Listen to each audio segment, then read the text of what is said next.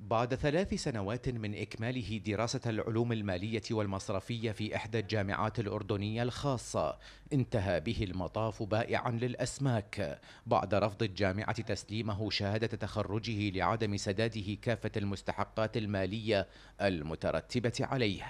اشتغلت ولحتى أوفر لحتى أجيك درجة بشهادتي وما قدرت بسبب الراتب ما كان مساعد.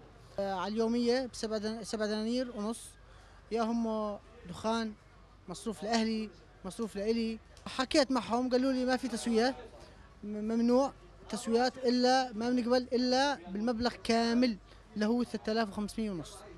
امتناع بعض الجامعات الأردنية عن تسليم يزن وغيره من الخريجين شهاداتهم الجامعية لعدم تسديدهم الكلف المالية المترتبة عليهم لأوضاعهم المعيشية. انعكس سلبا على فرص إيجادهم لعمل يناسب ما تلقوه من علم ومعرفة وليبقى المشهد الأبرز غياب الحلول. تحت قبة البرلمان الأردني طالبت مذكرة نيابية وزارة التعليم العالي بممارسة دورها في الضغط على الجامعات ليكون القضاء الفيصل بدلا من احتجاز الشهادات ومخالفة القانون.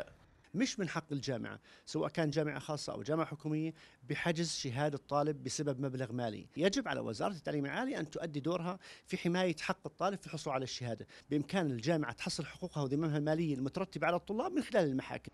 الحملة الوطنية من أجل حقوق الطلبة شككت في مدى قدرة الحكومة على الدخول في مواجهة مع المستثمرين في الجامعات الخاصة وإلزامهم بعدم حجز شهادات الخريجين.